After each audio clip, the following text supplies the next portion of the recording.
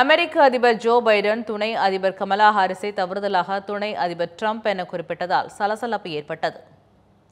அமெரிக்க அதிபர் தேர்தல் நவம்பர் மாதம் நடைபெறவுள்ளது.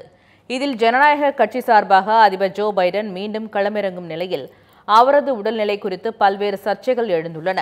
குறிப்பாக முன்னாள் அதிபர் டிரம்புடன் நடைபெற்ற விவாதத்தில் ஜோ பைடன் தெளிவில்லாமல் பேசியதைத் தொடர்ந்து அவர் அதிபர் பதவிக்கான போட்டியிலிருந்து விலக வேண்டுமென ஜனநாயக கட்சியினரை கருத்து தெரிவித்து வருகின்றனர். இந்நிலையில் நிகழ்ச்சி ஒன்றில் உரையாற்றிய ஜோ பைடன் துணை அதிபர் கமலா ஹாரிஸ் என கூறுவதற்கு பதிலாக துணை அதிபர் ட்ரம்ப் என தெரிவித்தார்.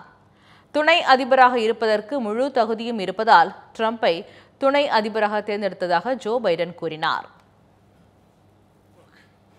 I wouldn't have picked Vice President Trump to be Vice President. I wouldn't have picked Vice President Trump to be Vice President. I wouldn't have picked Vice President Trump to be Vice President.